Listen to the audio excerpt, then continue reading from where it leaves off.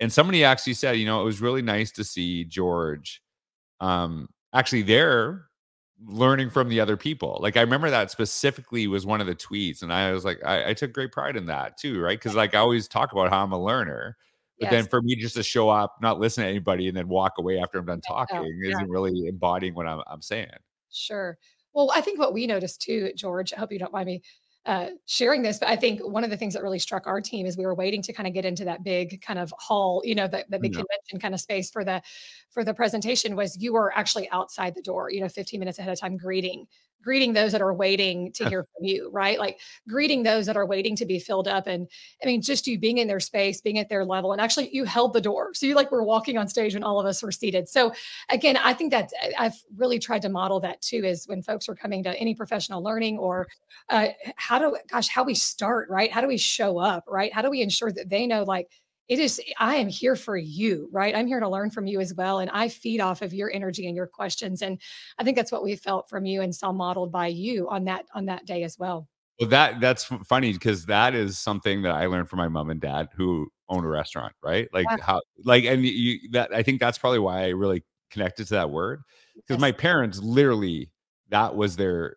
the way that they saw it was to was to serve right sure. like and if you think about it in a restaurant that's probably yeah. the best word and um, but people just had such a respect for them, such an admiration for them. And uh, what they said was like really held close to people because of how they served and how they made people feel. Mm-hmm. And I, I actually could tell you straight up that I learned much more um, from my mom and dad running a restaurant on how to lead in a school than I did in some educational you know sure. master's programs too right? Just to yeah. see how they interacted with people and that that made a, a huge difference to me. Uh, I, I do want to ask you and when you talk about this uh, terminology of being like because i know vulnerable is a big um, aspect of when you talk about leadership and you talk about you know the, the need for courage what do those things mean to you? And like how do, how is that actually beneficial to leadership? Yeah.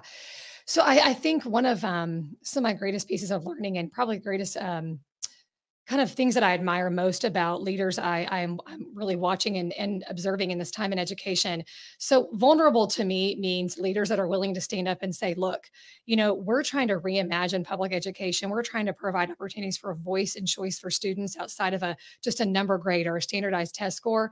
And as leaders, we may not have all the answers on how to get there, but we are vulnerable enough to stand up. I would say vulnerable and courageous enough to stand up alongside the team that we have gathered to say, we believe in this. I'm not exactly sure how to get there, but man, let's start. Let's start taking the steps forward. Right. Mm. Uh, another word that really, uh, for me, I connect with vulnerability is this this idea of humility um, humility is a really important character trait to me personally as a leader. And it really goes back to this idea of, of, of being a servant or really, really serving this idea that vulnerable leaders are willing to surround them, surround themselves with folks that are way more talented than them, that uh, they're right. willing to not be the smartest person in the room, but they're willing to say like, man, let's come together let's collaborate on a shared vision and shared beliefs that we all have voice in and let's all add to ideas on how we're going to get there right? Um, and so really this idea of i think there's a misnomer in leadership george honestly that leaders have all the knowledge and all the skills already that we just possess these things right? And then gosh what's the point of a team then right? Mm-hmm. so when i speak of vulnerability and and i think of about where we're heading in public education and what are the possibilities of where we can head gosh, I just think about these courageous leaders who are standing up and saying, look, I don't have all the answers, but I need you on my team. We can shape this together.